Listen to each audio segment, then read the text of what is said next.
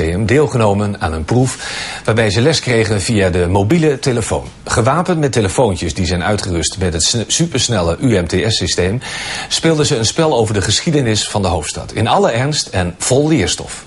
Kan je gewoon zo doen. Ja, weet ik. Maar we gaan nu eerst even een filmpje bekijken. Dus we hangen even op en dan bellen we na het filmpje op, oké? Hoe je videobeelden of foto's via je mobieltje verstuurt, hoef je Scarabee en Savannah niet uit te leggen. Maar dat de Schreierstoren in Amsterdam rond 1487 werd gebouwd, is heel wat verder van hun bed. Ik ga nu een filmpje kijken. Het gemak waarmee jongeren met moderne technieken omgaan, wordt nu ingezet om hun kennis over het verleden bij te brengen. Het vreemde aan deze klokken was, is dat deze midden in de nacht gingen luiden. Kinderen maken zelf uh, onderweg foto's en filmpjes om eigenlijk opdrachten te maken over die locaties. Dus ze laten zien wat ze leren of wat ze snappen, doordat ze er zelf media over maken en naar ons toesturen. Het gebeurt allemaal over het mobiele netwerk, dus over UMTS. En uh, wat wij daar ook nog aan toegevoegd hebben is GPS.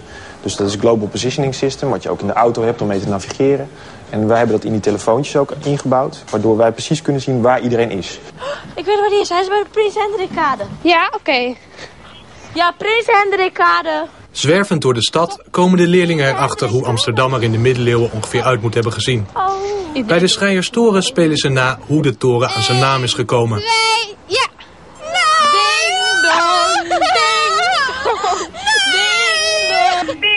Het filmpje sturen ze door naar klasgenoten in het hoofdkwartier.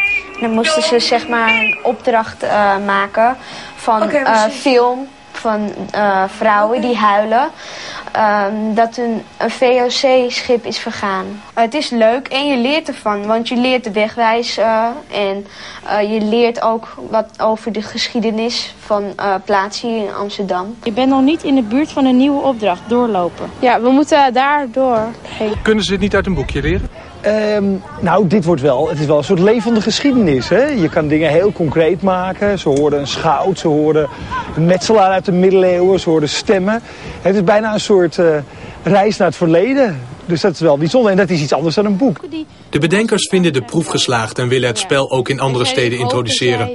Het is wel een kostbare geschiedenisles, want de ontwikkelingskosten, deels betaald door een telecombedrijf, liggen rond de 2 ton. Geen florijnen, maar eigentijdse euro's. Het weer nu, Marco Verhoef. Ja, en van winterweer is in West-Europa nauwelijks sprake. Welcome to VOG Society. I'm Charles Lofton, the project manager for our mobile educational uh, game pilot, uh, Frequency 1550. And tonight, a number of people from the production team are going to present the game to you. Um, for tonight, we're going to begin with a presentation by Sar van Kauswijk, our education worker. She was responsible for the educational concept of the game. After that, Oskar Hopman, the game designer, is going to show you a demo of the game. A short break. Uh, Just van den our back-end developer, is going to talk to you about the technology behind the game. So to begin, here is Sar van Kauswijk. Um, ja, aan mij de eer om te beginnen. Om iets over ons uh, spel te vertellen. Frequentie 1550. Ik zal even vertellen hoe we daar eigenlijk bij gekomen zijn. Um, nou, op een gegeven moment, hè, we, we, we starten met het project. Uh, en, uh, we mochten een mobile city game ontwerpen. En dat zou dan educatief van aard zijn. Dus, dus het zou toepasbaar moeten zijn in het onderwijs. En aangezien ik de educatief medewerker was, ben eigenlijk... werd ik dus al vanaf het uh, vroegste stadium daarbij betrokken. En um, ja, onze eerste taak lag eigenlijk van, goh, welke doelgroep gaan we eigenlijk uh, zoeken voor ons spel? En we kwamen al gauw uit, dat was al van tevoren al een beetje bedacht. Uh, de brugklas zouden we nemen, daarvoor zouden we het spel ontwerpen.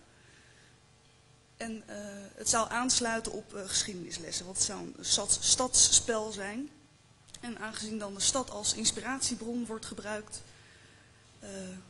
dachten we aan het vak geschiedenis om het daarop aan te laten sluiten. Dus we zijn met ongelooflijk veel experts gaan praten, ook met uh, docenten. En uh, we vroegen, goh, wat wordt er nou eigenlijk behandeld voor, die, voor die basisvorming leer, leerlingen? En dat was eigenlijk de middeleeuwen. Dat is omdat dat een hele rijke verhalende cultuur is. In die middeleeuwen bood dat ook heel veel ingangen voor een verhaal. Wat, en dat, dat wilden wij graag. En als eerste hebben we eigenlijk de middeleeuwse kaarten bijgepakt. Om, en die hebben we naast elkaar gelegd. Dus, dus de Amsterdamse stadskaart uit de middeleeuwen, dat, dat zien jullie ook hier. En dat zou dan ons spelgrid zijn. Dus daar zouden de leerlingen zich mee bezighouden. Als ik een beetje vaag praat, moet even inkomen. Het wordt zo wel beter. Um, goed, we hebben heel veel met die kinderen uh, gepraat. En ook met de docent. We hebben met het IFCO samengewerkt. Ik weet niet of jullie dat kennen. Dat is nogal een bijzondere school hier in Amsterdam. Met individueel voortgezet kunstzinnig onderwijs. En het is niet echt een, een doorsnee school. Het zijn veel uh, uh, kinderen met ouders die een beetje in de cultuur- en kunstsector zitten. Dus echt doorsnee was het niet, maar zij hadden wel heel veel ruimte en nou, wilden graag met ons die pilot ingaan. Nou goed, toen kwam er een hele periode waar ik en Aske hebben zitten nadenken. Goh, hoe, hoe kan dit spel nou voldoen aan de onderwijsdoelen en hoe ver, hoe, in hoeverre kan het spel een spel zijn? Want dat was natuurlijk de grote uitdaging van het hele onderzoeksproject. Kan je ook echt werkelijk iets leren? Maar goed, toen, uh, het moeilijkste was eigenlijk um, om een verhaal te verzinnen, om een scenario te bedenken. Want wij wilden eigenlijk dat die kinderen door in de stad te gaan lopen, um, uh, mee werden gezogen in een soort van beleving. Uh, zodat ze zich echt werkelijk in konden leven in de middeleeuwen en daardoor ook dingen konden onthouden. En dus niet uit een boekje, uh, wat is een schout of wat is een dit. Nee, het echt door te ervaren dat het blijft beklijven, zeg ik altijd maar. Dus dat was de grote uitdaging. We zijn toen inderdaad met het Amsterdams Archief gaan praten. En we zijn met het gemeentemuseum gaan praten. En ons Amsterdam, allemaal experts. We hebben ook een vakdidacticus uit de geschiedeniswereld uh, benaderd. Van goh, hè, wat, wat, hoe doe je dat nou? En toen zijn we eigenlijk op het bekendste Amsterdamse verhaal uitgekomen. Dat zouden we als leidraad nemen en dat is het mirakel van Amsterdam. Maar daar ga ik jullie zo wat meer over vertellen. In ieder geval, um, we wilden de, de, de telefoon, zeg maar, wat een heel nieuw medium is, wilden we koppelen aan die geschiedenis. En dat is ongelooflijk lastig. Vaak zie je dat spellen die... Uh, gekoppeld zijn uh, met moderne technologie en iets ouds.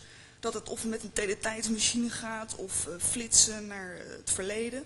Maar wij wilden iets anders verzinnen. Toen hebben we um, het volgende verhaal bedacht.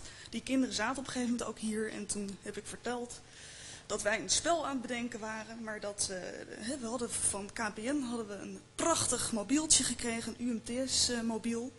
Nou, dat heb ik uitgelegd wat UMTS was. En uh, nou, dat Ask en ik waren aan het testen en ineens kraakte daar wat. Dat, dat, er gingen frequenties af. En ja, je kunt ze van alles wijsmaken. En um, ja, op een gegeven moment, daar, begon iets te kraken. En dat vonden we vreemd. Dus we gingen toch naar, naar een andere frequentie toe. En nou, weer rare kerkklokken. Ik, en ik heb, we hebben een filmpje, ik zal het zo laten zien. En dat, dat was het inleidende verhaal. Hè? Dus, nou, er is dus een storing in die, in die frequentie van die UMTS. En op een gegeven moment uh, hoorden we ook een stem. En ik, ik vertelde dan die kinderen van, nou, uh, ja, we dachten wat een rare stem. Dat heb je met die radio, uh, wat zijn het, van die hackers of zo, weet ik veel wat het is. Maar... Um, nou ja, ik, ik zal een stukje laten zien. Dat, dat, dit filmpje hebben we ook aan de kinderen laten zien. En de reacties daarop waren ook best wel grappig. Dubbelcheck. UMTS-test, frequentie 1530. Test, test, ja, 1, 2, 3. Ja, is goed. Ja, en, uh, en nu? Wacht. Wacht even, ik stel nog even andere frequentieparameters in, ja? Klinkt wel alsof je van ver weg aan het bellen bent. Hey, en gaan we zo ook nog video bellen? Want uh, ik heb het hier echt onwijs mooi uitzicht. En uh, met al die kerktorens. Maar het is hier wel ontzettend koud eigenlijk hoor. Poeh. Ja, hier waag lap aan waag dak. Eerst nog even 1540 doen. Ja, dan gaan we daarna video bellen. Ja, ja, is goed. Mijn god, hé. Uh, er staat heel klooster leeg. Moet je kijken man, ik zou hier echt wel willen wonen. Oké. Okay. Frequentie 1540. Starten we de test. UMTS test 1, 2, 3. Waagdak. Waagdak, hoor je me? Dag, hoor je me? Ja, ja, ja, ik versta je, maar, maar zet die christelijke muziek even uit, want uh, ja, het is echt niet om aan te horen, joh. Christel, christelijke muziek? En wij dachten dat het van jouw mp3-speler kwam of zo. Nou ja. Misschien is deze frequentie niet zo uh, bruikbaar dan. Gaan we even naar de volgende, ja? Ja, ja, is goed. Ja, ja is goed. Oké. Okay. UMTS, frequentie 1550. Start test 1, 2, 3. Waag dak. Start jij het uh, videobellen op? Kerktoren. Hé, hey, Waaglap. Waaglap, waar ben je? Waar ben je, Waaglap? Zijn jullie de duivelse stemmen waar ik over gehoord heb? In naam van de stad Amsterdam. Ik ben de schaal. En ik beveel jullie de stad te verlaten.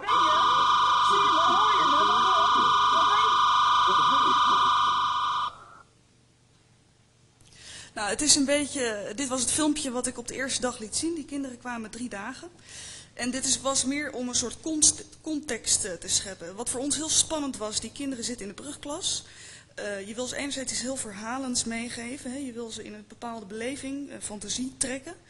En anderzijds wil je ook iets met technologie doen, dus op, wat aansluit op een eigen belevingswereld, zeggen we dan. het grappige was, die reacties was, ze begonnen allemaal keihard te lachen. Van, of nou niet keihard, maar ze begonnen wel zo van, ja tuurlijk, ja, ja tuurlijk. Maar later Um, of nee, toen zei ze, ja, het is een geest, het is een geest. En uh, ik nou, ik wilde toch nog overtuigend hè, dat je toch met een spel bezig uh, bent. En toen kwamen ze later toch nog stiekem, toen ze alleen waren en de rest van de klas niet zag, van ja, um, was het dan echt zo? Dat, dat die, dus het is heel grappig hoe wij nog op die grens dus hebben gebalanceerd van het geloven en het niet geloven. Dus daar was ik blij om dat ze toch nog naar me toe kwamen, anders had ik, hadden we dus de plank mis kunnen slaan. Aan de andere kant hebben we er ook voor gekozen om juist nog op een hele kinderlijke manier wellicht te ontwerpen. Maar ik zal er later ook nog uh, wel, uh, of nou niet kinderlijk, op een wat fantasievollere manier te, te ontwerpen. Goed, um, het idee was om, um, um, ik heb die kinderen dus verteld, dit, dit is aan de hand, er is een storing in het UMTS-netwerk. En wij moeten met z'n allen die storing oplossen. Wat er gebeurt is dat, ik laat het hele filmpje niet zien, is dat er contact wordt gelegd met een schout uit de middeleeuwen. Dan leg ik uit wat een schout is. Die schout die, um, die um, is de bewaker van een hostie. En die hostie, die, daardoor is de stad Amsterdam heel rijk geworden. En die hostie die is gestolen. Nou, ik ga dan wat meer vertellen over het hostieverhaal. Dat heb ik in samenwerking met de docent gedaan. Want dat is een fanatiek uh, geschiedenisleraar. Die heeft het volgende verhaal verteld over de hostie van Amsterdam. Ik weet niet of jullie het kennen, het mirakel van Amsterdam. Het, ja? Oh ja. Het is um, het mirakel van Amsterdam. Dat is het belangrijkste verhaal van Amsterdam. Dat hebben we dus ook van die, van die uh, vakdidactici en, en archiefmensen hebben we dat te horen gekregen, maar ook in alle boeken. Uh, het mirakel van Amsterdam, dat vertelt het verhaal van uh, een man die ligt op zijn sterfbed in de middeleeuwen. Die krijgt uh, het, de stervenswijding en hij krijgt de, hostie toegediend. En wat gebeurt daar? Hij spuugt die hostie uit in het vuur en die hostie blijft bestaan. En um, wat de clue is zeg maar, dat die hostie, die verbrandt dus niet. En daardoor wordt um, een heel mirakel heen gebouwd. En er komen een hele hoop pelgrims op af. Dit is gewoon echt gebeurd. Daarom is Amsterdam zo groot. Anders waren we, weet ik veel, Ilpendam was misschien wellicht groter geweest. En vandaag de dag nog steeds lopen er dus mensen uh, die processieroute. Dat is echt heel bizar. Er is ook een vereniging van en dat is allemaal nog heel actueel. En um, ja, dit, wilden we die kinderen toch ook wel meegeven. En dit biedt ook ingangen om, om zo'n spel uh, verder uit te werken. Dus echt, uh, hier zie je ook die, die processieroute. En um, nou, dat, hebben we, dat verhaal hebben we dus ook aan die kinderen verteld. En uh, die schout, dat hebben we dus zelf bedacht. Hè. We, een werkelijk verhaal hebben we gekoppeld aan iets wat we zelf hebben bedacht. Die, omdat die schout vertelt dat zijn hostie gestolen is daardoor komen al die, die ketterse stralingen komen vrij, want hij ligt niet meer op gewijde grond. En door die UMTS-straling vangen wij uh, al die deeltjes op. En ik zeg dan ook tegen die kinderen, het zou zomaar kunnen zijn dat wij met deze moderne technologie al die geschiedeniswerelden die misschien wel om ons heen versnipperd zijn, kunnen opvangen. Dus ja, ik vraag jullie nu dan ook om met ons, met die mobiele technologie, de stad in te gaan en die ketterse storing te stoppen. Want ja, je moet je voorstellen als wij over tien jaar, uh, uh, dan willen wij nog steeds kunnen bellen. En als uh, steeds meer telefoons storingen krijgen, nou, dan komt er niemand meer naar de stad Amsterdam. En dan hè, kun je je voorstellen wat er gebeurt. Dus nou ja, ingewikkeld verhaal. het doel van het spel is dus enerzijds de hostie terugvinden. Die kinderen moeten de stad in om die hostie terug te vinden. En anderzijds moeten ze een klooster bouwen, fictief gezien, om die hostie, als ze die gevonden hebben, in te bewaren. Oh, hm? om, oh ja, om die hostie in te bewaren. Nou, nou uh, komen we bij de puntentelling. Dat uh, was een ingenieuze inval. Um, we wilden niet gewoon met punten werken, we wilden met uh, een soort metafoor daarvoor werken en dat zijn poortersdagen geworden. Vroeger was het zo, als jij als, in de stad wilde wonen, in de stad Amsterdam, moest je eerst poorter worden. Porter is, in, uh, is burger, dus eigenlijk zijn de kinderen indirect ook een soort inburgeringscursus aan het doen. Het poorterschap verkrijgen, dat kon op drie manieren. Je kon trouwen met een poortersdochter, je kon het poorterschap kopen en je kon een jaar en een dag in de stad wonen en belasting betalen. En dat zijn dus 366 dagen. En dat is dus ook het aantal punten wat je als kind moet verzamelen. Nou, dit is um, hoe we de stad hebben verdeeld. Zij moeten daar straks op gaan lopen. Zij moesten daarop gaan lopen. Hebben we in zes uh, uh, zones verdeeld. Daar hebben we namen aangegeven. De lastage, dat was vroeger ook echt de lastage, dat gebied. Lag net buiten de stadsmuur. Dus daar woonden eigenlijk uh, de niet-burgers, zou je kunnen zeggen. De kade, daar is nu het Centraal Station. De twee zijden, waar de twee zijden wil zeggen uh, de oude zijds en nieuwzijds, waar de oude kerk en de nieuwkerk zijn. Die plaats, die plaats is de Dam. De kloosters, dat is een buurt waar heel veel kloosters opgestapeld zijn. En verdediging, waar de Montelbaanstoren, of nee, de Zwijgt Utrecht, staan een aantal verdedigingstorens. Dus die namen die zijn karakteristiek voor hoe het ook echt in die stadsdelen zijn. En dat kun je nu nog steeds zien. Dus, daar zijn we mee begonnen. En um, in elke zone zijn drie opdrachten te maken. Want uh, ja, jij moet dus poortersdagen uh, verzamelen. En die schout die, uh, die wil wel met jou, die wil jou dat laten doen. Die heeft opdrachten uitgezet. En voor elke opdracht kun jij poortersdagen verdienen. Nou, wat we hebben gedaan, zes groepjes. Die gaan allemaal met twee telefoons een zone in. Eén UMTS-telefoon, één speltelefoon en een GPS-apparaatje. daar wordt straks alles over verteld. En al die kinderen begonnen dus in een aparte zone. En um, zodra je de zone inliep, uh, werd je eigenlijk min of meer opgebeld. Je kreeg een soort videoboodschap van een middeleeuws personage. En uh, bij elke zone hoorde dan ook een introductieclipje. Dus bijvoorbeeld, ik zal hem zo laten zien, bij de kade of bij de lastage vertelt een... Uh, wat bij de lastage? Een? Oh ja, daar vertelt een scheepsbouwer iets over die hele zone. En uh, daaraan vast geeft hij jou de opdracht die je moet doen. Daar zal ik zo ook wat over vertellen.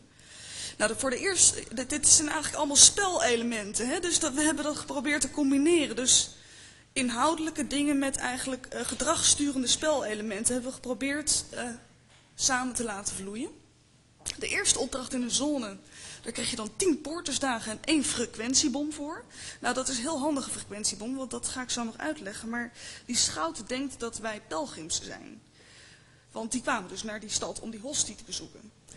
En, maar ja, we konden niet allemaal een klooster bouwen, want dan zou de stad helemaal vol kloosters zijn. Dus alleen de sterkste pelgrimsorde mocht een klooster bouwen. En uh, dus zijn er drie verschillende soorten kloosterorders. En uh, die frequentiebom, die kan je dus neerleggen bij een uh, andere kloosterorde, want dan zou zijn frequentie verstoord worden. En dus een aantal minuten uitgeschakeld zijn.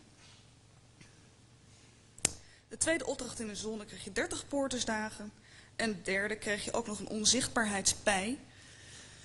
Die ehm, kan je natuurlijk omdoen als je dus ziet dat een tegengestelde pelgrimsorde op je afkomt. Dan uh, uh, kan je die snel omdoen, zodat ze jou niet zien. Nou, dit zijn die drie verschillende ordes. Orde van het Houten Kruis, Orde van het Heilige Wijwater en het Orde van het Eeuwige Vuur. Nou, vuur pakt uh, het Houten Kruis. Hè, vuur verbrandt hout, hout drijft op water en water blust vuur. Zo hadden we dat zeg maar bedacht. Dus je krijgt steeds je identiteit mee. Dat wisten ze van tevoren niet. En um, behalve dat pelgrims door de stad zouden gaan lopen, was er ook een headquarter. Die zaten allemaal hier in de zaal. Dus daar laten we zo ook nog wat filmpjes van zien. En die communiceerden met elkaar. Als zij bij een opdracht kwamen, dan moest de HQ, zo noemden ze dat, headquarter, die zat hier in de waag, communiceren met die pelgrims. En alleen door te communiceren en door uh, informatie op te zoeken op internet en de opdracht uh, te maken, konden ze naar de volgende opdracht. En na het, oh ja, dat was ik nog vergeten te vertellen. binnen één zone zijn er dus drie opdrachten. Als je de eerste opdracht goed hebt gedaan, kun je daarna kiezen binnen de zone welke opdracht je maakt. Dan moet je dus overleggen met je, met je headquarter. Nou, hier zie je een aantal uh, HQ's die druk bezig zijn te bellen. Het was een heel erg mooi gezicht. Ze waren ook erg serieus en erg fanatiek. Maar daar laten we zo nog wat over zien. Oh, oh wacht even. Oh. Het volgende filmpje wat ik jullie laat zien is uh, de uitleg over hoe je moet videobellen. Want wij uh, dachten natuurlijk van nou, ze kunnen het allemaal wel. Maar het was toch wel zinvol om het een en ander te doseren. En toch als je met scholen gaat praten, merk je toch bijvoorbeeld zoeken op internet. Dat hadden we in het spel geïntegreerd. Vonden ze ongelooflijk moeilijk. Dus daar hebben we echt nog in mijn introductieles, in de eerste dag, heb ik echt een aantal opdrachten gemaakt. Zodat ze leren zoeken op internet en met een aantal dingen leren. En het volgende filmpje is dus Aske die uitlegt hoe je moet videobellen. Zit er iemand al in de camera opnemen nu? Ja, maar ik heb wel gezonden. Hier nog niet. Dan neem je nu stil op en dan druk je naar stoppen. Stop. Zeg maar doe maar Het is belangrijk als je straks buiten bent, dat je oplet dat je geen sekundare clipjes maakt. Als je clipjes maakt die veel langer zijn dan 10 seconden, dan kun je ze niet meer opsturen. Dus je moet het een beetje kort houden. Minder dan 10 seconden moet je proberen. Minder dan 10 seconden, want anders dan kon je het niet meer opsturen. Minder dan 10 seconden. Ja. Moet diegene die achter de computer zit het ook weten? Als het goed is, als je hem stuurt, moet hij binnenkomen op de HQ waar je achter zit. En zo versturen hem is? Zal ik even één voor één uur langskomen? Toen, dit, uh, toen ze dit eenmaal door hadden, zorgde dit voor grote hilariteit. Het was eigenlijk al een spel op zich, dat videobellen. Je ziet elkaar dus uh, op het scherm. Goed, um, de HQ-interface, dat uh, zal Aske zo meteen uitleggen. dit is zeg maar een screenshot daarvan. je ziet jezelf dus over die middeleeuwse kaart lopen. En, um, en de HQ ziet alle groepjes pelgrims door de stad lopen. Dus die kan ook in de gaten houden. Goh, de orde van het Houten Kruis komt op de orde van uh, het, het, Heilige Wijwater af. Dus die kon op die manier het ook in de gaten houden. En die had zelfs ook de, de moderne kaart ter beschikking. Maar goed, ik dacht ook van, jeetje, dat is moeilijk om, om ze dat uit te leggen. Dus ik heb ook eerst wat oefeningen gedaan. Want ik moest dus leren dat die kaarten verschillend zijn. Want bij die onderste ligt rechtsonder het centraal station en bij die nieuwe uh, een beetje boven. Dus toen heb ik ze gewoon opdrachtjes gegeven. Goh jongens, uh, zoek eens uit waar de dam is bij beide kaarten. Nou, gingen ze draaien en dat vonden ze eens lastig. Maar ze hadden er wel wat aan tijdens het spel uh, later. Toen konden ze veel sneller zeggen, ja, ga nu naar rechts. En dan gingen ze omdraaien en in gedachten terug. Oh nee, nee, naar links, weet je. Dus dat, nou, dat vind ik best wel knap dat ze dat gewoon echt stug hebben volgehouden. En hier zie je hoe ik dat uh, heb uitgelegd. Gewoon klassikaal uh, gedaan. En wie weet wat, er al, wat ik zo meteen hier ook weer gaan zien? Oh, op ja, een stukje, je eigen pelgrims zie je straks door de straten lopen. En dames en heren, daar heb ik wel iets over te zeggen. Het is natuurlijk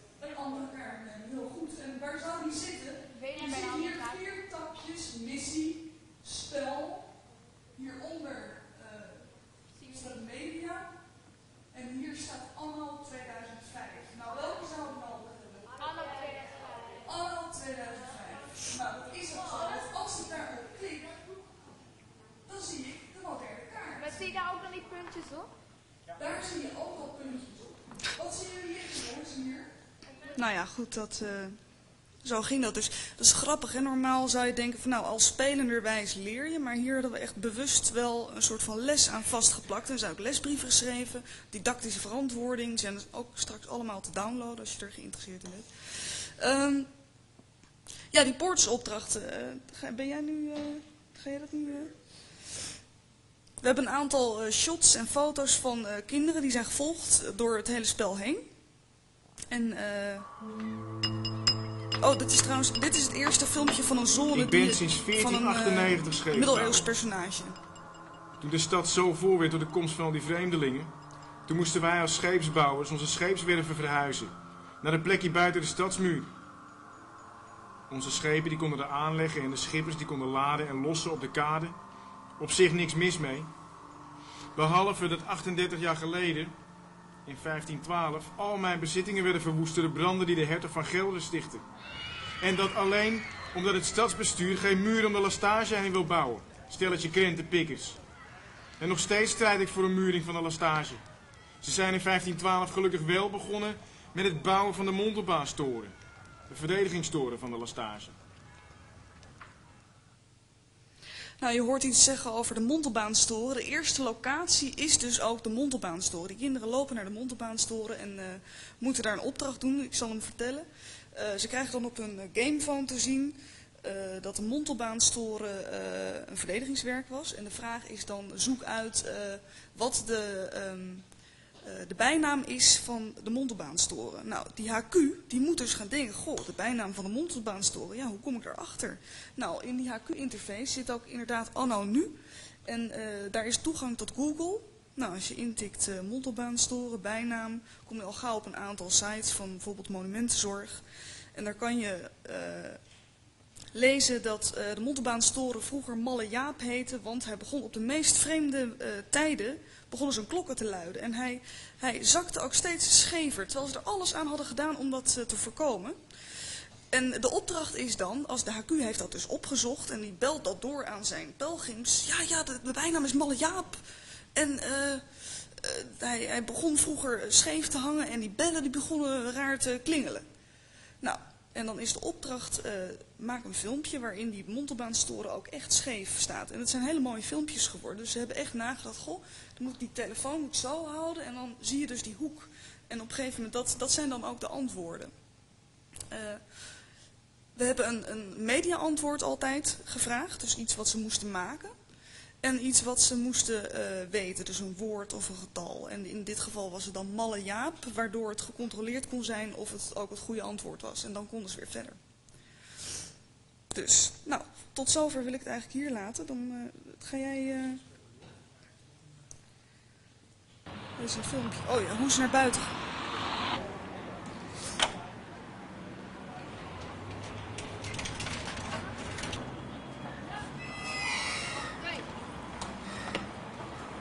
Kleine jongetjes, grote meisjes.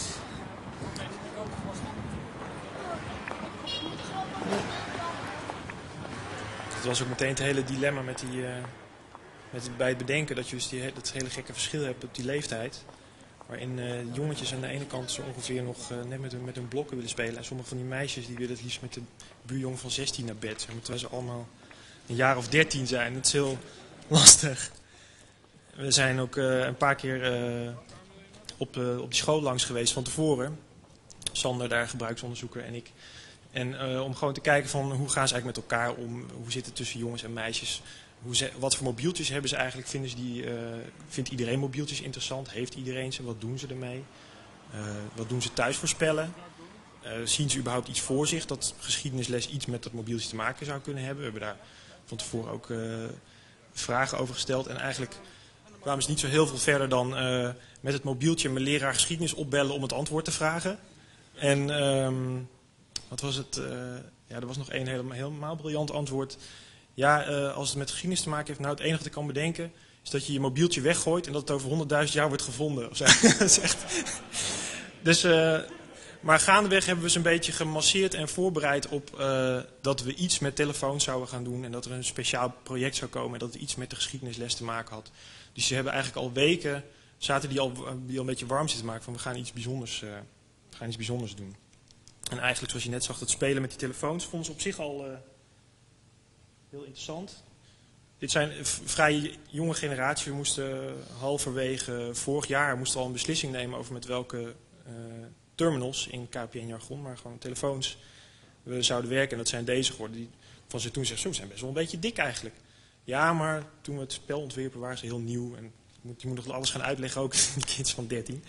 Uh, maar hiermee konden ze dus video bellen en dat vonden ze echt geweldig. Ik, eh, ik, ga er straks ook even een paar uitdelen, dan kun je zelf ook een keer zien hoe het werkt. Ik, ik, was er in het begin zelf sceptisch over, maar het werkt heel erg goed. Dat je zelf echt uh, een, een, serieus gesprek kan voeren, waarbij het ook nog meerwaarde heeft dat je de ander ziet. Ik zal het straks even laten, laten zien voor mensen die dat leuk vinden. Dit zijn de andere telefoons. Je zag al net dat we ze naar buiten stuurden. Dan kregen ze dus zo'n speltelefoon mee. Uh, ideale verdeling was ook dat we drie uh, toestellen hadden. Dan kon iedereen een apparaatje krijgen die naar buiten ging. Dat was ook heel erg belangrijk. We hebben op dag 2 geïmproviseerd, want op dag 1 hadden we groepjes van drie naar buiten en eentje binnen. Op dag 2, het was het tenslotte een pilot, we hebben van alles uitgeprobeerd, onder andere dit soort dingen. Uh, dat ze dus in twee aan twee naar buiten gingen, want het bleek dat de kinderen met de draadloze GPS vaak eh, meer dan 10 meter opeens eh, wegliepen bij de kinderen met de speltelefoon. Omdat ze dus een snackbar zagen of uh, bijna een ongeluk kregen of zo. En dat heel vaak daar op dag 1 de GPS verstoord, de connectie verstoord werd. Dus op dag 2 kreeg één kind dit apparaatje om. Dit is een draadloze GPS-ontvanger. Twee jaar geleden hebben we een project gedaan, ook een location-based project. Het was meer een kunstproject. Waarbij we nog een enorme PDA nodig hadden. Die met een lange draad een antenne aan vast zat. Nu is dit Zo'n dingetje is eigenlijk alles wat je nodig hebt om, uh, om een locatie, ja, locatiegebaseerde toepassing te maken.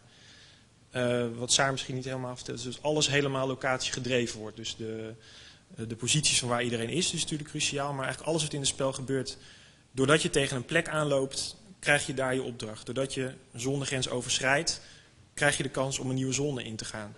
Doordat je op een te dicht bij elkaar in de buurt komt, krijg je een confrontatie tussen met een ander team. Het gaat allemaal puur op afstand van waar ben ik in relatie tot de objecten eigenlijk in een soort van virtueel uh, grid. Dus ook de, uh, zeg eens, de, de, de bommen waar we het net over hadden, die je dus kunt neerleggen, zijn in feite booby traps die anderen dus niet zien. Die legt hij in de, op die virtuele lagen op de kaart, waar alles in gebeurt.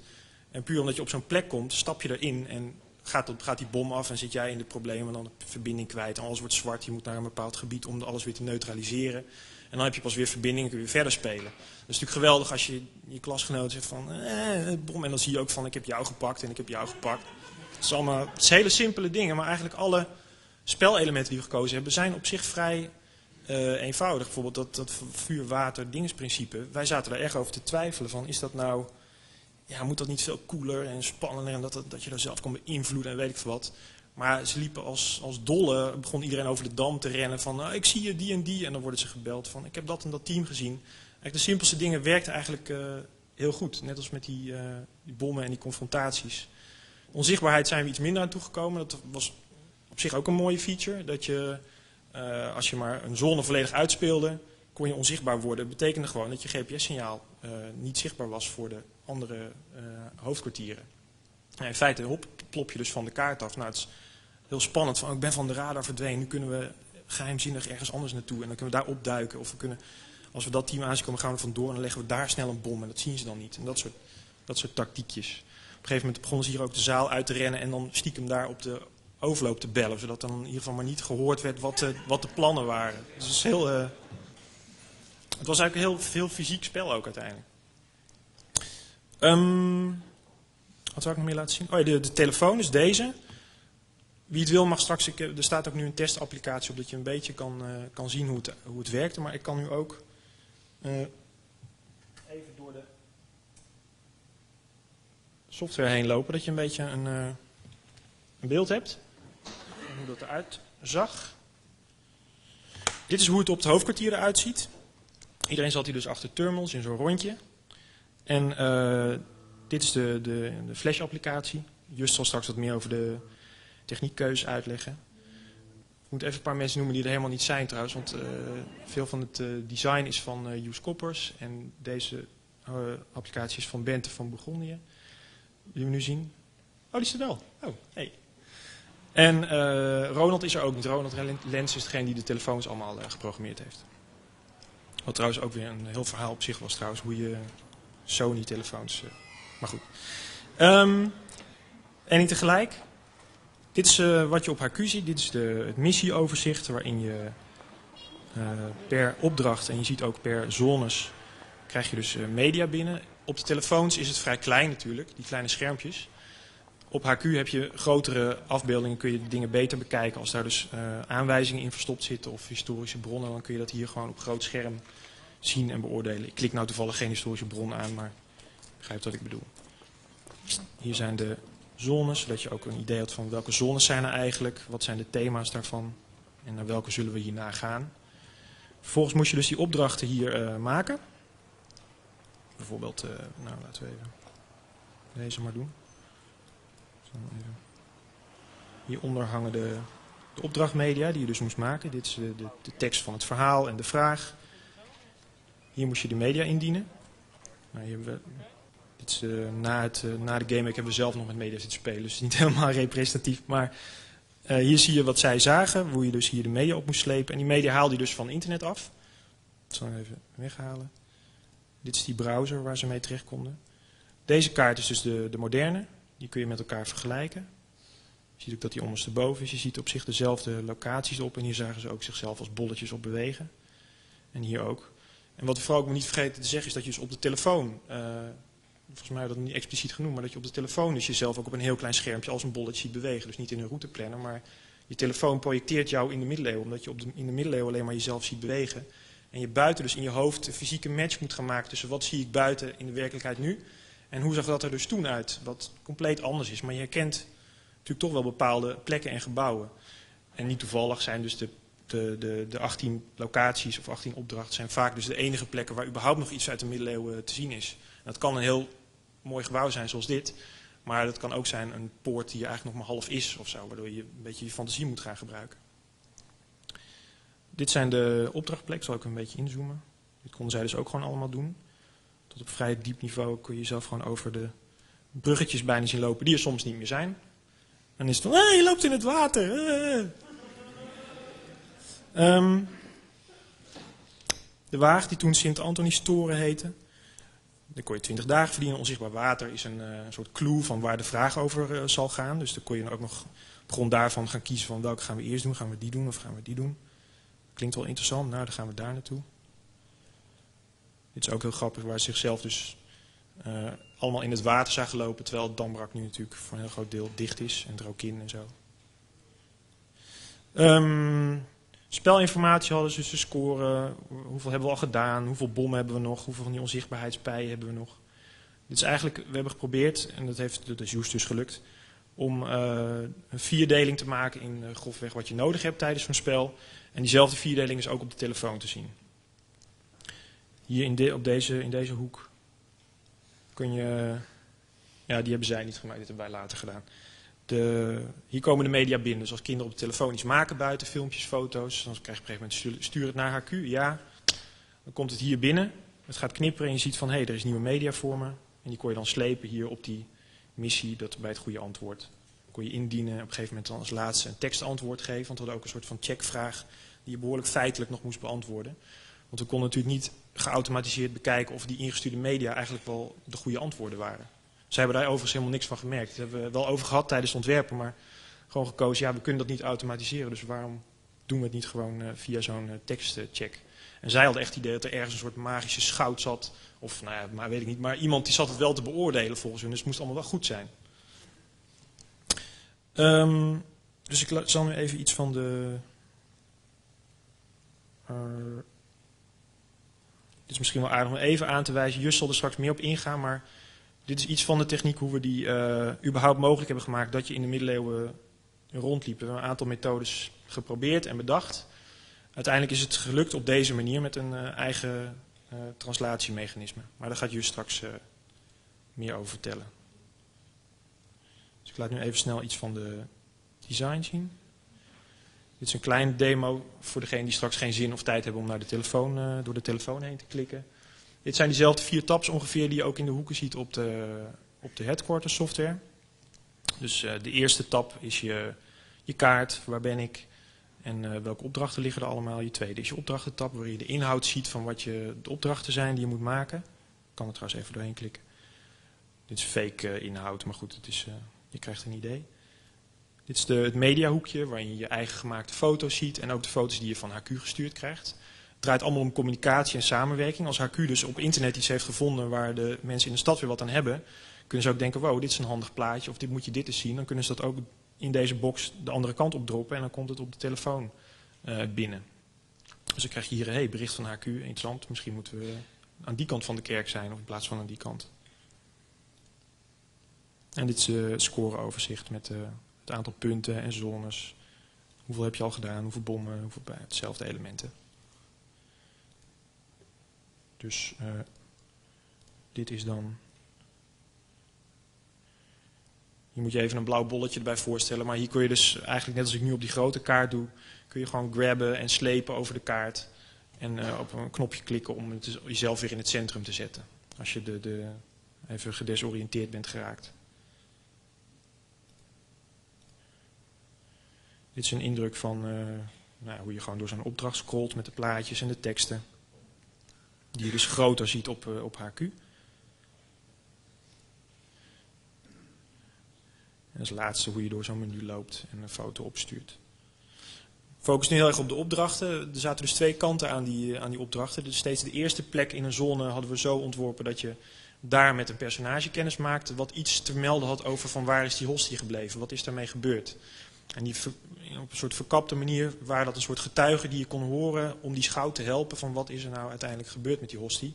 Het verhaal wat we dus bedacht hebben is dat die gestolen is door een, een soort corrupte metselaar die een bepaalde uh, afvallige non ook heeft uh, gevonden die, hem, die samen ook al het slechte pad op wilde.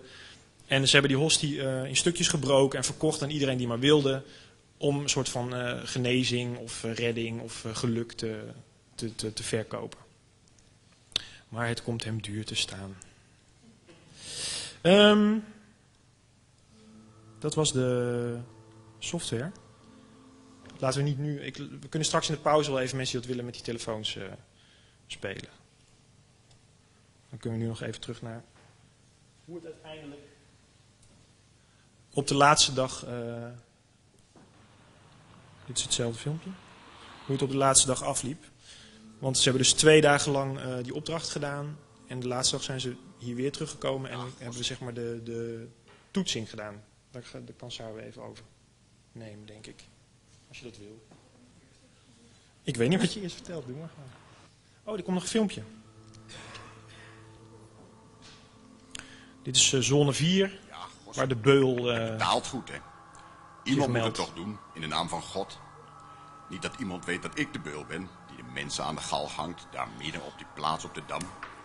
Normaal gesproken is het een lawaai van je welste op die plaats. Marktkoopmannen, zeelui, handelaren, muzikanten, verhalenvertellers. Het is het hart van de stad. Maar als ik op het schafot sta en het vonnis van die misdadigers wordt opgelezen, is het doodstil. Ik verman me, zweet op mijn bovenlip onder die zware kap, mijn bijl, concentratie. Ik hef mijn handen op en ik zie hoe mijn handen, die de mijne niet lijken, de bijl door een angstig mensenlichaam laat snijden.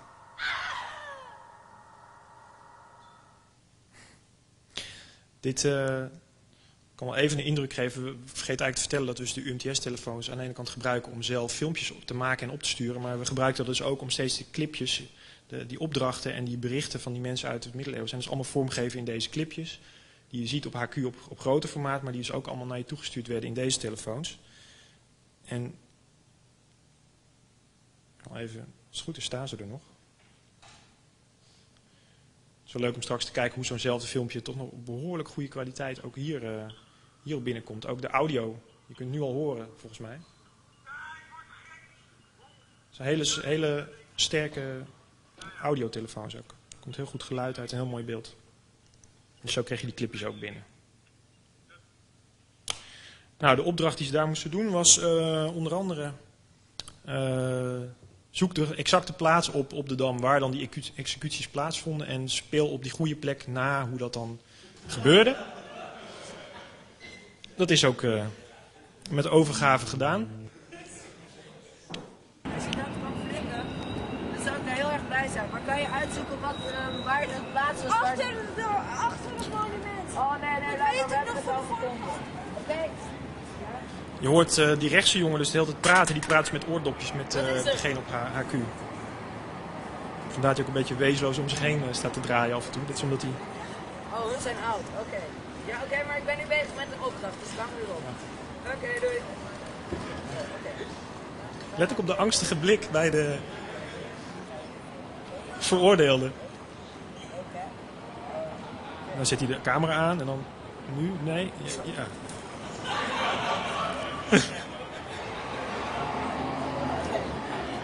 en ze wil het ook meteen weer terugzien. Het, uh, vervolgens kwam, moest ze ook nog dus op internet opzoeken. je ziet daar het schermpje van de HQ openstaan. Uh, wat de beul uh, verdiende eigenlijk met, zo'n, met één zo'n executie. Eén keer dan kun je dus een historisch document uiteindelijk terugvinden en op groter bekijken. Van, dan blijkt dat het dus zes gulden, de beul rekent, rekent zes guldens om een hoofd af te hakken. En dan moet je dus zes gulden invoeren op je telefoon. Ja? Oh, dat zijn twee. Dat, dat zijn de telefoonresultaten. En nog keer. Die links hebben het ietsje anders gedaan. Die hebben het met een zwaai. Actie. Het is bijna een soort mix tussen... Uh... En nog keer. Die links is meer middeleeuws. Die rechts is meer een soort van Abu Ghraib-achtig. Uh, het is heel bizar. En dit is wat we dus steeds aan het eind van de dag uh, lieten zien. Uh, dan Just had een tour gemaakt om dus al die sporen nog een keer te reproduceren. En dan konden ze nog een keer zelf nakijken van, oh dat zijn wij geweest, dit zijn jullie geweest. Ja, dat is waar, toen gingen we daar naartoe. En Saar kon het heel goed gebruiken om op in te haken, om met elkaar alle media te bekijken die ze gemaakt hadden. En om zo te gaan evalueren, wat hebben jullie eigenlijk gemaakt en waarom? En wat voor antwoord had jouw HQ dan gevonden en waarom heb je dat dan zus gedaan of zo gedaan? En dit is op de laatste dag als ze, ik praat gewoon door, als ze de, de toetsen zitten te maken. Want we hebben dus wel expliciet gekozen om ja, niet alleen maar te willen beweren van ja, zo leren ze ook heel veel. Maar om ook wel uiteindelijk dat met een papieren toets te, na te gaan. En het, het komt dus overeen, we hebben van tevoren afgestemd, heeft Saar gedaan met de docent, dat dit ook wel echt aansloot op de lesstof en op de, de hoe noem je dat? Niet de theorie, maar de, de methode die ze dus gebruiken, de, de lesmethode.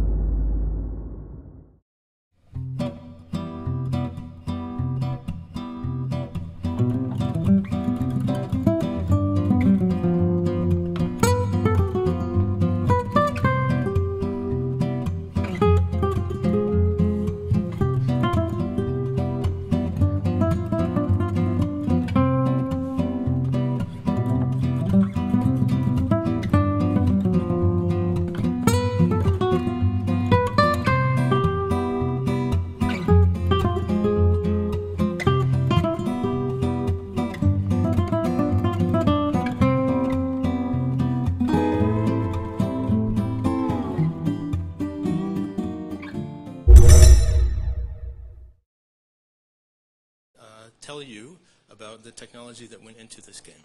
So here is Just. Ja. Nou goed, uh, jullie hebben net uh, al die mooie gameconcepten uh, gehoord. En ja, voor ons als, als techneut is het zeg maar de uitdaging om dat in software en hardware te realiseren.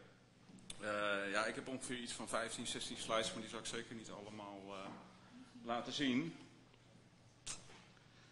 Um, eens even kijken welke dit. Waar begin je dan mee met zoiets? Waar we mee begonnen zijn is zeg maar een, uh, ja, een architectuur te maken, dus een, een, een, infrastructuur met wat zijn alle zeg maar, de hardware elementen in het, uh, in het geheel, welke functies hebben ze en hoe, hoe communiceert het allemaal. Dus wat je aan de bovenkant ziet, dat, uh, dat zijn uh, zeg maar de clients, de, de, de frontend. Nou, die hebben jullie net al gezien. Dus per team uh, is er dan een, een gamephone, een GPS, een HQ en twee videophones. Ehm, wat je aan de onderkant ziet, dat heet dan backend ofwel de server. Daar zit de zogenaamde game server.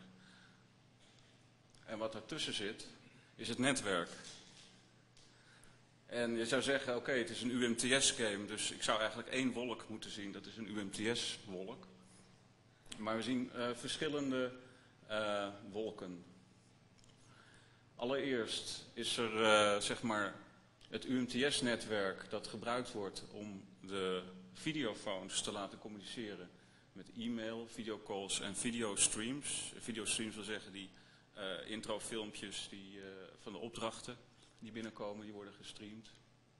En de gamephone die communiceert via het GPRS, dus eigenlijk het standaard uh, mobiele netwerk.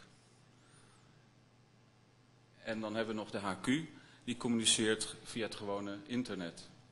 Maar zoals je ziet zijn die GSM en die UMTS-netwerken uiteindelijk ook weer met internet verbonden. Dus voor de server maakt het allemaal niets uit. Die ziet gewoon zeg maar normale internetverbindingen.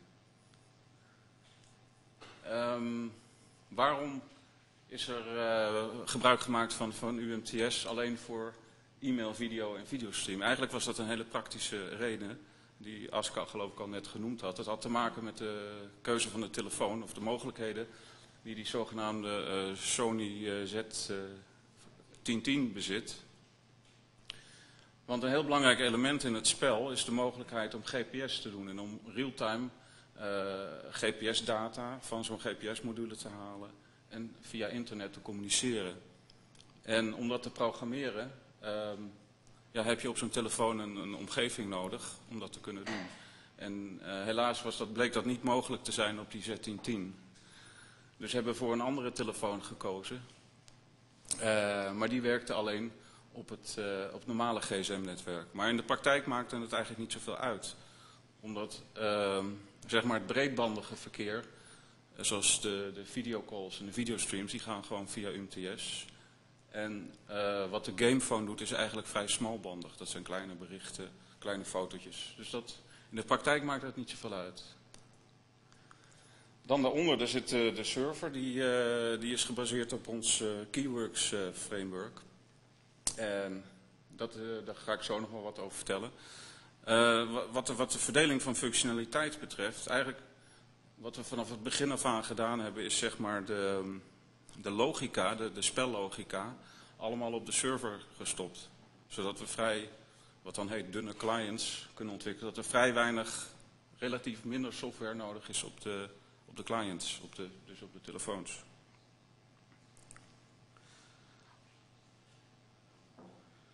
Ja. Goed. Ik ga nu even die, uh, die elementen langs en ook, ja, Ronald hier, uh, die vanavond helaas niet bij kon zijn. Want ja, we zijn met, met, met z'n drieën hebben we uh, zeg maar de softwareontwikkeling gedaan.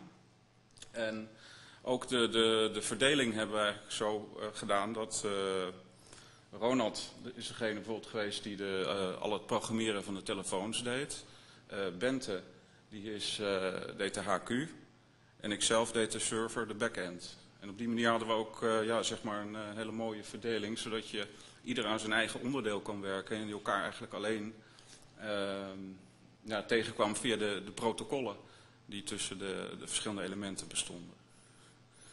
Dus dit is nog iets ja, uitgebreider over, over de, ja, zeg maar de specificaties en het soort um, software wat we voor die verschillende telefoons hebben gebruikt. Dus die gamephone, uh, ja, daar hadden we zo'n GPS-module, zo'n standaard uh, Bluetooth. Um, en de telefoon zelf hebben we geprogrammeerd met, met behulp van Java. En dan de zogenaamde uh, MIT-P2, dat wil zeggen, dat is de, zeg maar de modernere versie van, van, van Java die beschikbaar is voor op, een, ja, op dit soort telefoons. En wat daar verder nog bij zat was zeg maar de, de XML-protocol client waarmee de telefoon met, uiteindelijk met de server communiceert.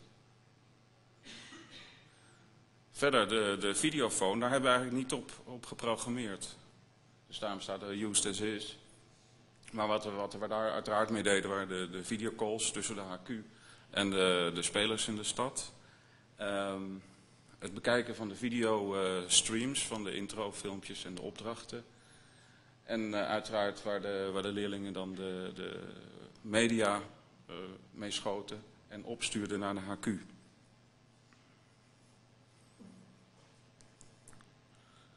Dat brengt ons bij de HQ. Um, dat is, die is, de HQ is geprogrammeerd in zeg Macromedia Flash. En daar hebben we al redelijk veel ervaring mee. Um, vooral ook omdat je zeg maar, vanuit Flash heel gemakkelijk uh, via het internet of in real-time kunt communiceren via TCP-sockets. En omdat we al jaren gebruik maken binnen Keyworks van communicatie van XML over TCP-IP, is dat vrij ja, gemakkelijk en hebben we dat ook al in andere projecten gedaan. Om een echte uh, real-time multi-user communicatie. Want wat je ook moet voorstellen is dat uh, tijdens het spel is iedereen als het ware online. Dus het is een echte uh, multi-user applicatie. Het is dus niet als een, zeg maar een webbrowser waar je af en toe wat informatie ophaalt. Er was echt een continue real-time communicatie. Dus de actie van een, van een speler in een team had een direct gevolg bij, bij, de, bij de andere spelers van hetzelfde team of bij andere teams als het over confrontaties ging. En dat, uh, ja, in de praktijk bleek dat in een aantal milliseconden zelfs te gaan. Um, dus de, de HQ in uh, Macromedia Flash, dus de, programmeertaal daarbinnen heet dan ActionScript. Um, er was nog een stukje, uh, omdat ja, als ik had laten zien hoe je dus Google opent en daar plaatjes uit kan slepen. En ja, om dat mogelijk te maken was het uh, nodig om, uh, om toch nog een stukje, zeg maar, dot, zogenaamde .NET integratie, om, om juist een geheel te hebben. Want anders zou je bijvoorbeeld verschillende dingen op de desktop hebben. En nu konden we alles mooi integreren in één, ja, wat zich gedroeg als één beeldvullende applicatie. En ook daar is er communicatie uh, met de Keywork server, net als die gamephone. En feitelijk was het exact hetzelfde protocol, wat uh, zowel de HQ als de gamephone praten.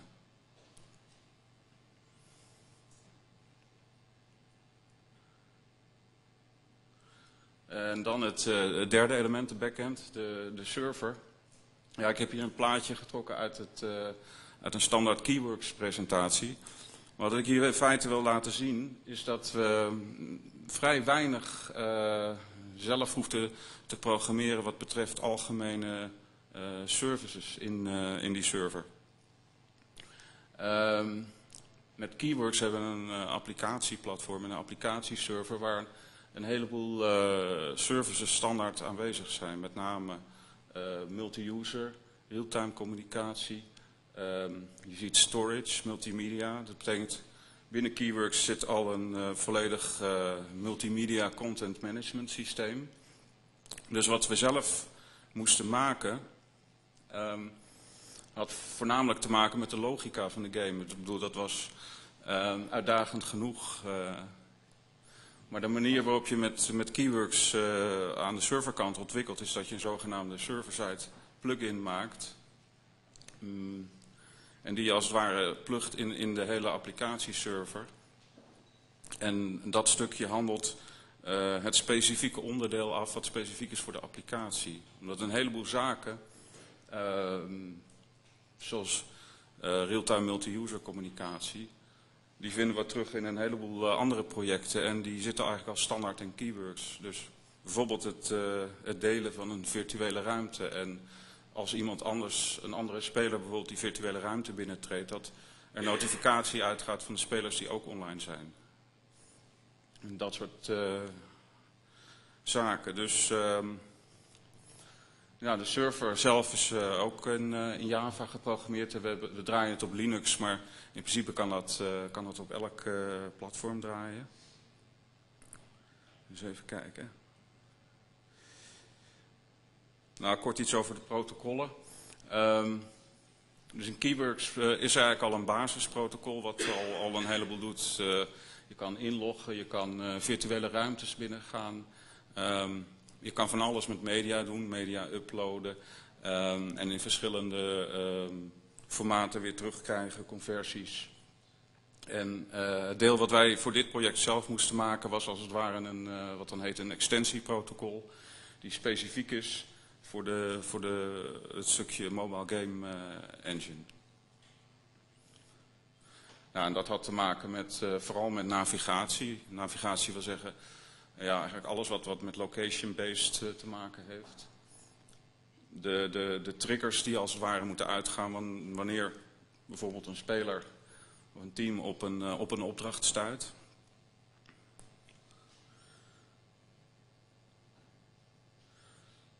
En waar ik ook nog iets uh, over wil zeggen is de, de GPS-development. Uh, Want dat, dat bleek ook eigenlijk heel, een heel uitdagend stuk te zijn. Ehm, kijk, vandaag de dag zijn er allemaal routeplanners en ja, iedereen kan altijd zien waar die is op de kaart. Maar ja, zoals Aska eh, al verteld heeft, in het concept was gekozen voor zowel een moderne kaart als een middeleeuwse kaart. En die middeleeuwse kaart die is handgetekend. Het is zelfs een vogelvluchtkaart. Uh, ooit getekend door Cornelis Antonis in 1550. Met zijn idee hoe Amsterdam er van de lucht, uit de lucht uit zou zien. Dus dat was niet een kaart, zeg, normale kaarten kan je gewoon, zeg maar, als je GPS-coördinaten hebt en, en ja, die kan je dan volgens een bepaalde formule omzetten naar pixels. En dan weet je precies, oké, daar, daar zijn we. Maar die middeleeuwse kaart, uh, dat had niet zeg maar een vaste transformatie, wat, wat sommigen misschien nog in het begin dachten. Dus ja, hoe ga je dat nou oplossen? En uh, ja, gezamenlijk met, uh, met Joes en, en en de andere ontwikkelaars in het team zijn we gaan nadenken. En ja, dan ga je denken, ja, dan moeten we punten zetten en dan moet je daar het gemiddelde van nemen of zo. Maar dat gaat ook niet altijd goed, want als je bijvoorbeeld een bocht omloopt, dan kan je eigenlijk weer net binnen een huis uitkomen. Als je bijvoorbeeld een gemiddelde neemt van drie punten. Maar even nadenken. Dat is even een denkertje. Uh, um, nou goed, uiteindelijk hebben we voor iets gekozen... Voor, uh, wel dat je, zeg maar, je loopt. Alles speelt zich in feite af op de werkelijke kaart. Dus alles wat te maken heeft met, met tegen opdracht aanlopen, confrontaties. Maar de spelers, zeker op straat, uh, de, de, die moesten navigeren met een middeleeuwse kaart.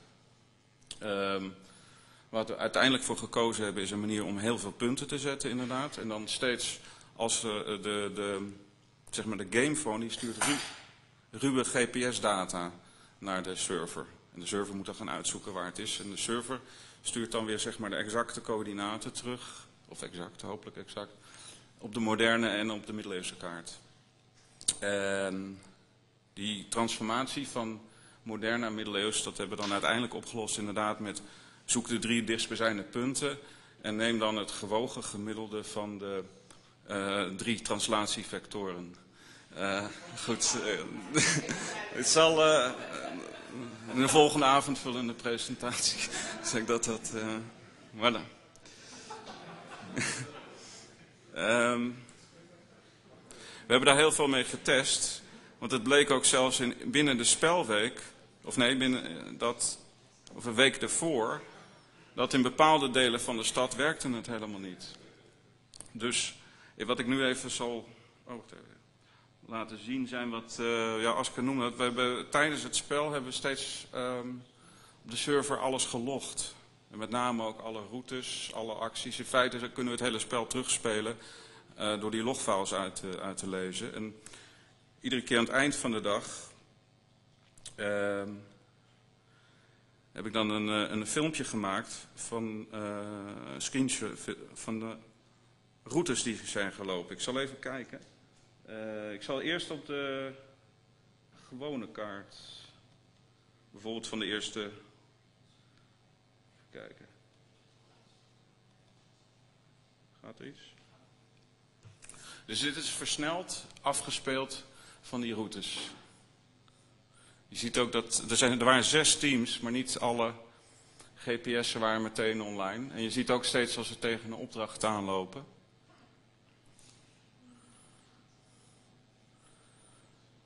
Maar je ziet dat bijvoorbeeld het team rood gaat echt uh, direct naar het, uh, de oude herberg was dat bij het Centraal Station.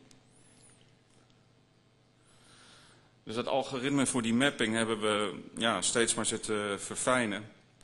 Tot, uh, tot twee dagen voor. En, en, en de truc bleek inderdaad om gewoon maar duizenden punten te zetten. En, en iedere GPS-sample die binnenkomt in de server, die gaat zeg maar die, die punten af. En moet dan de goede coördinaten teruggeven. Dan zal ik nog even laten zien hoe dat dan in de, even kijken, in de middeleeuwse kaart eruit moet zien. Dus dat zijn, de, dat zijn dan dezelfde routes.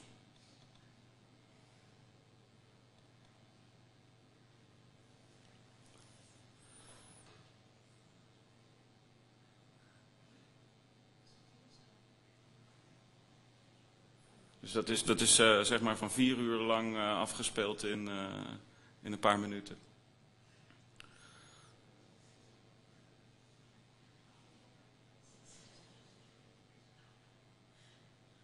Je ziet dat soms valt die GPS uit en dan zie je ze opeens op een moment op een hele andere plek.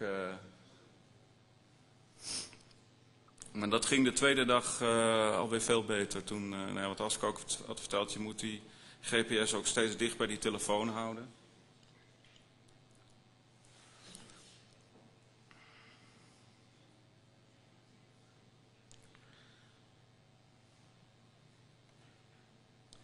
Goed. Even kijken.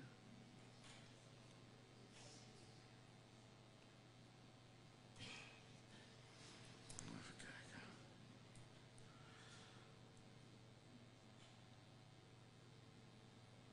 Dus dat was de, de GPS-ontwikkeling. Ik zag gewoon even een paar uh, uh, scenario's laten zien van nou ja, hoe gaat die hele interactie tussen, tussen telefoon en, en server en uh, alle andere elementen. Um, wat denk ik wel interessant is, is bijvoorbeeld navigeren. Dus je loopt en, en ja, wat gebeurt er dan in feite is dat die, die GPS of die telefoon leest voortdurend GPS-data um, uit dat GPS-device. En stuurt ze gewoon blind naar de server. En de server die, die, uh, die gaat dan uitrekenen waar, uh, waar diegene is en stuurt dan vervolgens de, de coördinaten terug van de echte, in de echte wereld en in de middeleeuwse wereld. En die stuurt hij ook naar iedereen, vandaar dat, dat, uh, dat wolkje. Dus bijvoorbeeld alle HQ's, die kunnen zien waar alle andere teams zich op dat moment bevinden. En het is eigenlijk ja, vrij, vrij eenvoudig.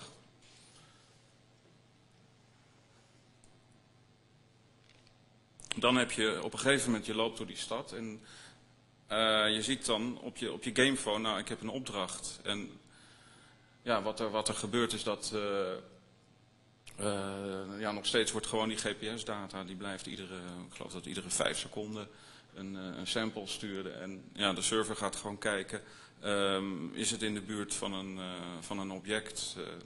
en dat was ook maar één algoritme. Uh, want dat object kon zijn een assignment, een, een opdracht. Een ander team of een booby trap, een frequentiebom. Dat is allemaal, ja zeg maar, ja dat heet ook wel location-based services. Je geeft een trigger op grond van een bepaalde locatie, een bepaald object wat je bereikt. En doet eigenlijk niet toe wat. De logica moet er wel natuurlijk in zitten om dan juist een soort trigger te geven. In dit geval loop je tegen een opdracht aan. Nou, op de telefoon kan je dan kiezen van nou wil ik die opdracht doen. Want soms kan je er, uh, ja, heb je een mogelijkheid om hem op een ander moment te doen. Nou, en dan wordt naar het team, want dit gaat dan, dit is communicatie binnen het team dan. Want ja, de andere teams zijn niet geïnteresseerd of jij nu die opdracht gaat doen. Nou, dan kan je die opdracht gaan doen en opdrachtinformatie ophalen. Bijvoorbeeld de HQ die ziet dan wat de opdracht is. Uh, oh ja, wat betreft de video. Want die videofoon die heeft geen uh, zeg maar online, echte online verbinding. Maar de manier waarop we dat opgelost hebben is dat uh, op het moment dat de opdracht wordt gevraagd. En zeg maar de, de gamephone aangeeft dat, dat ze die opdracht willen doen. Wordt er een, een videopagina gegenereerd. Want de videofoon die haalt steeds dezelfde, die heeft wel gewoon een webbrowser met een die haalt steeds dezelfde HTML-pagina op. Maar er zit steeds een andere inhoud in, afhankelijk van de locatie Of, waar je mee bezig bent met een opdracht. En op die manier, ja, wat Aske net liet zien, kan je dan die, die streaming video, die dan weer van de streaming server bij de wagen komt. Dus gewoon, het videoformaat was 3 GP, om dat te kunnen afspelen. Nou, ik ga niet uh, in detail door al die, wat misschien nog wel een leuk spelelement was, wat de zogenaamde, ja wij noemen dat dan booby traps, de, de, de frequentiebommen. Dus een, een speler die, die ja, als het ware, die, die plaatst zo'n bom op een GPS-locatie. Andere spelers die sturen steeds hun GPS-positie en op een gegeven moment detecteert de server van hé, hey, dat is in de buurt van een, van een booby trap stuurt een booby trap message. En om een zogenaamde booby trap weer op te lossen, kon een team twee dingen doen. Kon ofwel naar een eh, speciale locatie gaan, of de booby trap was verdwenen na 10 minuten. Want wat er tijdens de boe als je zogenaamd gebooby trapped bent, dan kan je ook helemaal niets meer doen. Dan is je scherm zwart. Dat is uh, zeg maar de screenshots die je daar ziet. En hieronder zie je dan dat, uh, hoe, ja, dat dat team is bijvoorbeeld naar een bepaalde locatie gelopen, waardoor de booby-trap opgeheven is.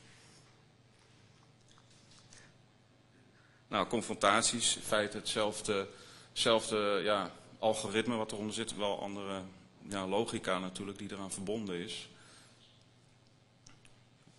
Je ziet ook steeds als een team gescoord heeft, dan gaat het wel naar alle spelers in het spel.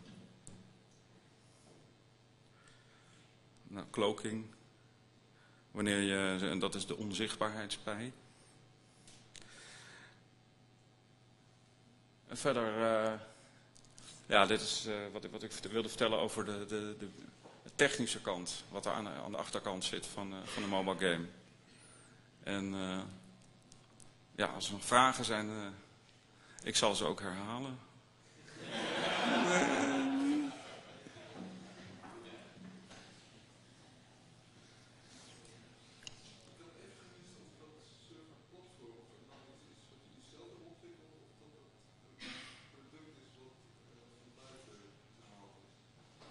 Nee, dat hebben we zeg maar, van de grond af aan zelf ontwikkeld, Keyworks. Uh...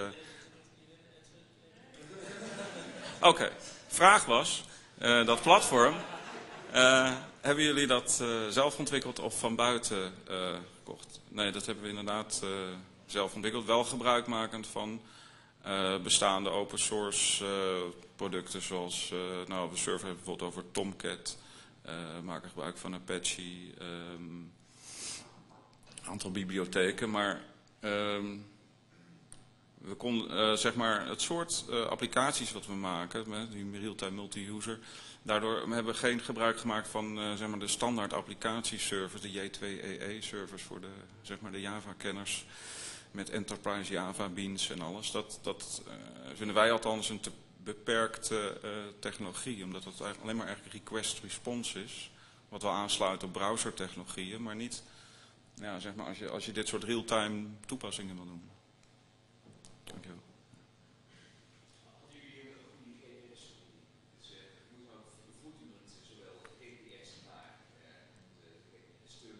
Mm -hmm.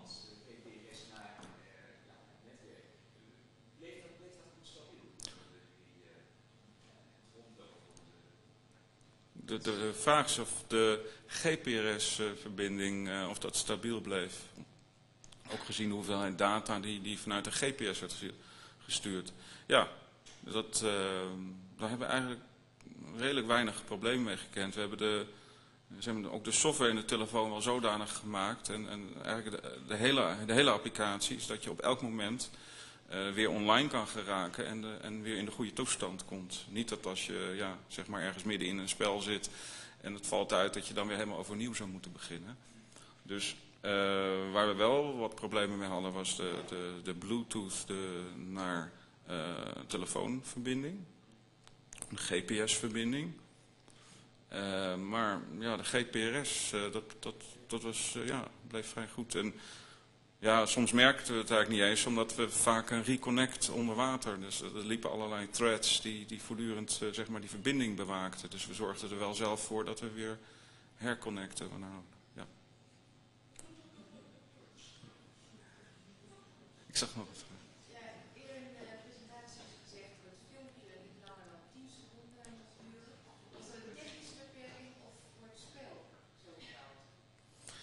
Uh, eerder, eerder, was uh, gezegd dat uh, filmpjes niet langer dan 10 seconden konden duren, die, die, gemaakt en gestuurd werden door de spelers. Um, het was, voor zover ik me herinner, was het een, een technische beperking in het, in het UMTS. in ieder geval had het iets daarmee te maken. Of op de telefoon. Oh, kan jij dan nog wat Dat weet ik nog wel, ja. Nee, het kwam niet door het UMTS-netwerk. Het kwam door een beperking in de Sony-telefoon. gewoon in de software. Dat er... Sorry, KPN. Ja, wat KPN-vrienden daar die... Uh... Nee, het lag er een manier waarop de telefoon ingesteld was om via e-mail uh, berichten te sturen. En daar ging soms iets fout door de standaard instellingen. Dus we hebben Soms ging het goed, soms ging het fout. Maar voor de zekerheid hebben we gezegd van maak de clipjes niet langer dan 10 seconden. Want anders dan kan het fout gaan en dan moeten we de boel herstarten en dat soort dingen. Of tenminste de boel, uh, jullie telefoon van dat team. Dus daar kwam het meer door. Heel goed. Ja, daarom iedereen vult elkaar aan in dit team van u. Dat is goed hè. Uh, zag ik nog ergens een hand achterin?